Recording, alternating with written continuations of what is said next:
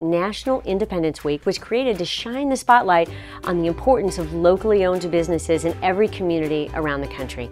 Across the country, people will be celebrating Independents Week this year between June 30th and July 7th. National Independents Week gives you reason to print out a 20% coupon and come out to all the great independent businesses like Changing Hands Bookstore, we are a locally owned bookstore since 1974. Our mission is to be a independent bookstore that is also a community gathering place where people can come together, share ideas, find great books. Changing Hands has been participating in the Independents Week Golden Coupon since the very beginning. It brings new customers into our business and we're part of a community of other local great businesses.